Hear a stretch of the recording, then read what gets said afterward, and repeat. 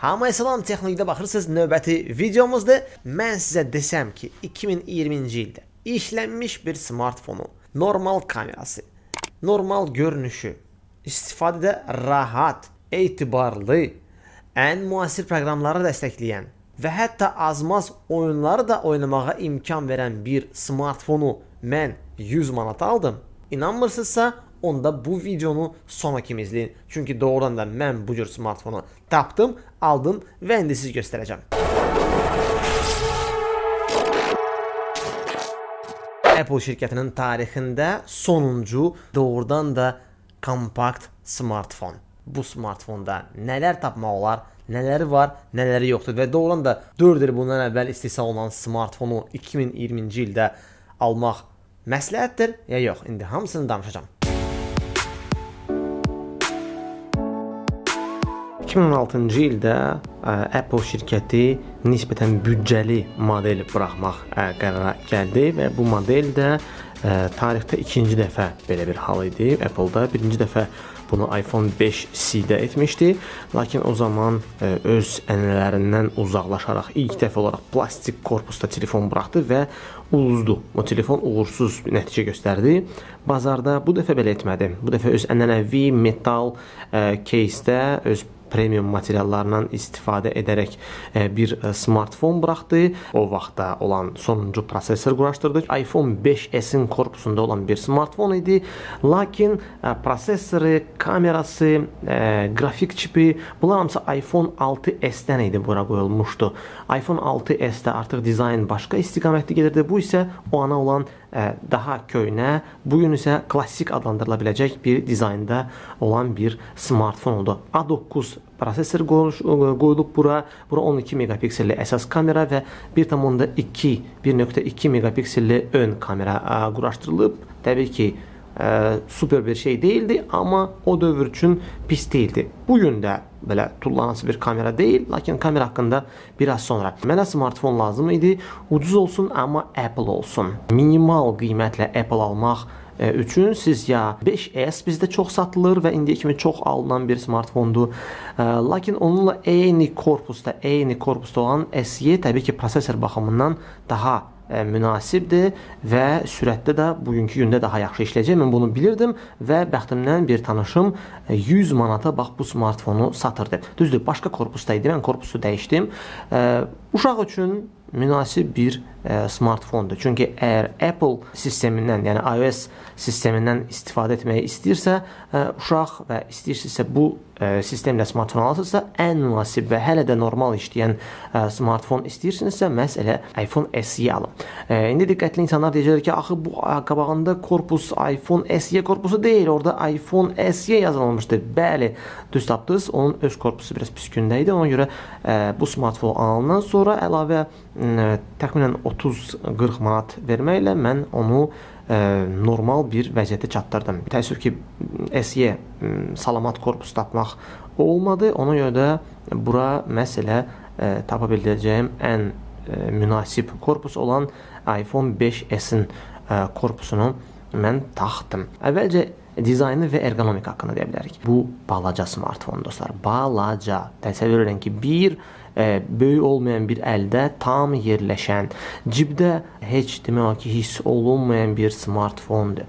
Yüngüldür. Yəni buna görə çox yüngül, çünki metaldır, amma çox nazik olduğu üçün və ə, belə deyək də balaca olduğu üçün nisbətən yüngüldür. İndiki telefonlara baxanda indi artıq bu dizaynda heç nə istehsal edən yoxdur. İndiki dövrdə də ə, bu smartfonun dizaynının böyük pərəstişkarları var və indiyə kimi də peşmandırlar ki, niyə bu dizaynda Apple artıq heç nə istehsal etmir? Çünki onların düşüncəsinə görə bu dizayn indiyə kimi Apple-ın fikirləşdiyi ən gözəl dizayndır. Nəysə, bu dizayn təbii ki, subyektiv məsələdir. Sırf işlətməyə görə, yəni əldə oturmağa görə və belə necə hiss olunur, məncə indiki zamanda ucuz plastik telefonlardansa və ya güya şüşədən olan, əslində isə plastikdən olan telefonlardansa, bax bu ələ bu metal toxunuşunu hiss eləmək əldə daha yaxşıdır. Ekran. Təbii ki, 2020-ci ildə 4 düymlük adi LCD, hansı ki heç HD deyil, 1136 e, 640-adır resolusionu. Yəni bildiyiniz kimi HD daha çoxdur 1280-720-yə. Amma bu o demək deyil ki, ekran lap belə-belə pisdir və ekranda problem var. Yox, ekranda belə bir problem yoxdur. İndikilərlə baxanda, müqayisə edəndə elə də uduşlu deyil artıq. Bu normaldır. Çünki 4 il bundan əvvəl olan istehsal istehsal olunan telefondur. Öz ekranıdır ya. Yəni dəyişilməyib ekran, zavod ekrandır. 4 il işləyən telefonun ekranıdır. Girək ə, xüsusi bir proqrama, gəlin baxaq nə var, nə yoxdur. Bir daha deyirəm, bu iPhone SE-dir. Gördüyünüz kimi baxmayaraq ki, korpusu 5S-dən qoyduq. iPhone SE yazılıb. Lightning connector təbii ki, nano SIM-dən istifadə olunur. GPS var, NFC var. 4 il bundan əvvəl istehsal olunan telefonda NFC var. Bəli, var. Bluetooth 4.2 o dövr üçün ən proqressiv Bluetooth versiyası idi. LE, yəni low energy rejimi var. Yəni Bluetooth-un az enerji işlədən e, rejimi suya davamlı deyil. Gəlin prosesora baxaq. Dediyim kimi Apple A9 e, bu onun e, sürəti 64 bitlik arxitekturada deməli 16 nanometrli idi. Əlbəttə ki, bu o vaxtın texnologiyasıdır. 2 nüvəlidir. Bunlarda 16, 32, 64 və 128 təsəvvür edin. 128-lik tapsaz, siz bu dizaynda olan 128 ə, deməli gigabaytlıq başqa telefon tapa bilməzsiniz. RAM-ı hamısında eyni, təbii ki 2 gigabayt RAM idi. Bax görürsüz ki, burada yazılıb. Kamera burada 12 megapiksellik kameradır, aperatura 2.2-dir. Bugünkü gündə bu göstərici o qədər də yüksək sayılmır. Maksimal video keyfiyyəti, diqqət 4K dostlar, 4K keyfiyyətində video çəkirdi. Apple ə, məhsulu artıq 4 il bundan əvvəl özdə 30 kadr saniyədən optik stabilizasiya burada yoxdur. Bugünkü gündə bu minusdur. Çünki bir çox ə, smartfonlarda, xüsusilə Apple-ın özünün smartfonlarında artıq optik stabilizasiya var. Ön kameranda dediyim kimi 1.2 megapiksellik kamerası var. Maksimal video keyfiyyəti 720-dir 30 kadr saniyədə. Batareya. Bu smartfonu alsaz, bilin ki, heç də ən güclü tərəfi deyil. Ümumiyyətlə batareya özü burada kiçikdir. Bu korpusda 1600 mAh-saatlıq batareya quraşdırılıb. Alanda siz bu smartfonu işlənmiş alacaqsınız və təbii ki, batareya orijinaldırsa burada, orijinal olsa yaxşıdır, dəyişilməsə yaxşıdır. Çünki əksər hallarda dəyişiləndə nə qoyulur bura Allah bilir. Orijinaldırsa bu artıq pis deyil. Daxil olursunuz bura və tapırsınız akkumulyator bölməsini. Belə. Rusca belə gedir. Состояние akkumulyatora. Maksimal tutumu 90%dir. Nəzərə alsaq ki, bu ə, smartfonun 3-4 ilin smartfonudur. Aktiv olunan smartfon 90% pis deyil normal göstəricidir. Buna təbii ki, mütləq baxın, işlənmiş e, SE alsaz. E, təbii ki, burada 50-dir, 60-dırsa, yazılacaqsa, deməli bu akkumulyator artıq e, ümumiyyətlə saxlamayacaq və siz dəyişməli olacaqsınız. Ən azı alsaz e, qiymətdə endirim eləsin sizin üçün satıcı. Amma ümumiyyətlə hətta yaxşı vəziyyətdə belə akkumulyator olsa, yəni aktiv istifadə edən üçün, yəni daim internetdə olan, daim YouTube-da olan, daim nə bilim oyun oynayan, nə bilim mesajlaşan falan adam üçün bu telefon təbii ki, gecə kimi qalmayacaq. Odur ki, nəzərə alın bunu, ə, axşam tərəfi artıq, yəni yenidən power banka qoşmalı olacaq. Burada ə, iOS əməliyyat sisteminin, yəni Apple smartfonlarında olan hal-hazırda ən sonuncu 13.3 olan versiya. Hər halda bu günə olan ən sonuncu budur. 13.3 bura gəlib. Yəni proqram baxımından bu smartfonun, bu modeli Apple baxmayaraq ki 4 il keçib artıq üstündən modelin çıxdığı gündən, amma hələ də dəstəkləyir. Bu çox gözəl bir nəticədir. Bu uzun ömürlü smartfondur. Elə ona görə də bu smartfonlar hələ də ə, alınır və alınacaq da yaxın ən azı 1 il ərzində. Hətta iOS 14 də bu smartfona gələcək. Bu da çox yaxşı xəbərdir. Bu deməkdir ki, 2021-ci il daxil olmaqla sizin smartfonunuz, yəni bu e, model iPhone SE alsaz, e, ən aktual, ən sonuncu proqram yenilənməsini, güncəllənməsini dəstəkləyəcək. Ay nə bilim hansısa proqram burada açılmayacaq, ay nə bilim dəstəkləməyəcək, e, bu telefon köhnədir deyə bu proqram bura getmir. Belə söhbət burada olmayacaq. Sadə oyunlar var ki, məsələn, orada oynaya bilərsiniz. Nə bilim, o hansısa bu İndi bu məsələn belə tipli oyunlar vaxt öldürən oyunlar, yəni belə oyunları siz e, rahat oynaya biləcəksiniz və orada heç bir necə deyirlər ilişmə e, falan olmayacaq. Ona görə də rahat ola bilərsiniz. Bax indi GT Racing oyununu yükləmişəm və heç bir oyun dolmur, gedir və bu cür balaca ekranda bundan artıq qrafika heç lazım da deyil. Yəni normal qrafikadır. Yəni pis görsənmir, bir şey eləmir. Yəni necə ki böyük ə, smartfonda mən bu oyundan e, oyunu idarə edəcəkdimsə, eləcə də bax bu smartfonda da mənə tam bəs eləyir. Facebook yendirəm, Instagram indi bu smartfonda yoxdur, amma necə deyirlər, rahat burada işləyəcək. Bu baxımdan da ə, narahat olmayın. Yəni WhatsApp burada işləyir, necə deyirlər və heç bir falan, yəni ə, dönmə, ə, donma falan da yoxdur. Foto, video göndər, nə bilim səsli mesaj, nə bilim yazış. Burada hər şey burada var. Nəzərə alsaq ki, bu smartfonu siz indi ala bilərsiniz. 100-150 manat arası məncə ə, nəzərə almaq lazımdır ki, burada müasir Apple smartfonlarında olan ə, hər şey demək olar ki, burada var. Düzdür, ə, müasir Apple smartfonlara smartfonlarında məsələn artıq barmaq izi söhbəti yoxdur. Bilirsiniz ki, yığışdılar, yığışdırdılar. Yəni burada hələ də barmaq izidir. Ə, oyadırsan və açırsan onu. Amma o da sürətli işləyir. Ha. Yəni sizə deyim ki, yəni açıldı. Yəni nisbətən bu il üçün, bu telefon üçün 3-4 il aktiv istifadə olunan ə, telefon üçün, yəni bu sistem işləyir və necə deyirlər, ə, səhv eləmir. Hə, görürsüz ki, yəni səhv etmədi. Ə, baxın, qoydum. Yox, qoydum, açıldı. Bir də açıldı.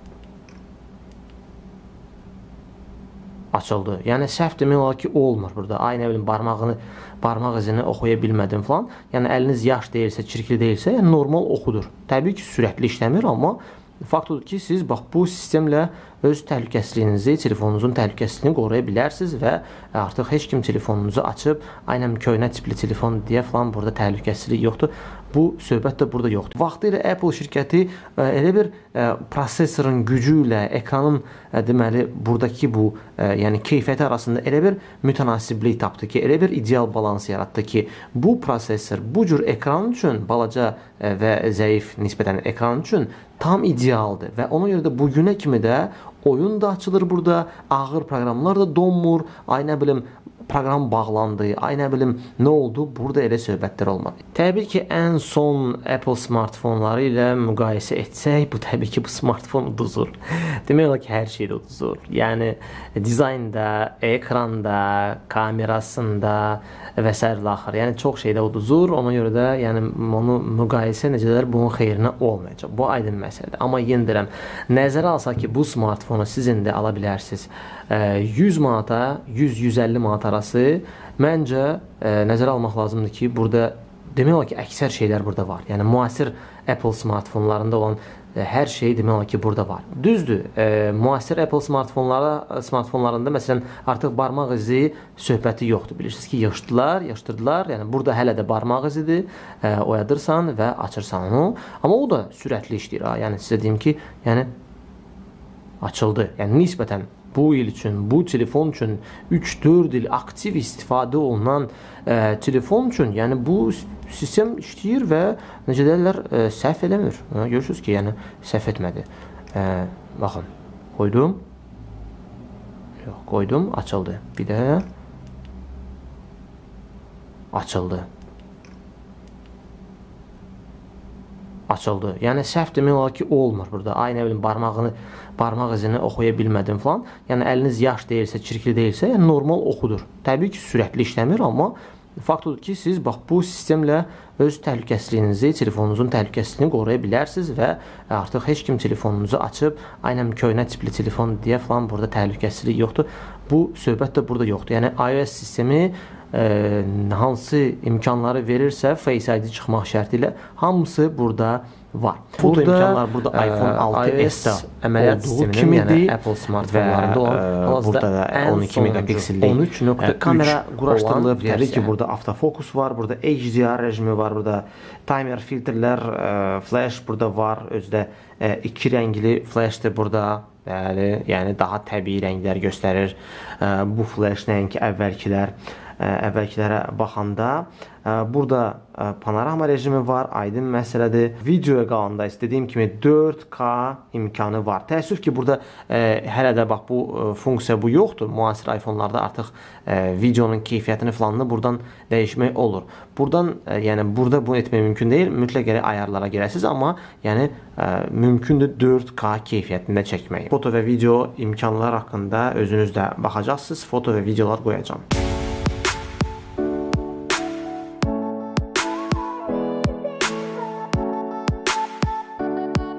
iPhone SE-nin ön kamerası ilə video çəkirəm. Gördüyünüz kimi işıqlı havadır və belə yəni pis deyil. Normaldır. Heç bir büdcəli smartfondan zəif çəkmir məncə. Eyni zamanda video e, səsi necədir, təsviri necədir?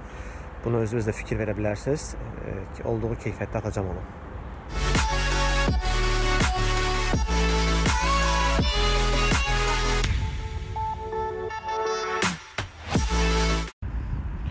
iPhone SE-nin əsas kamerası ilə video çəkirəm.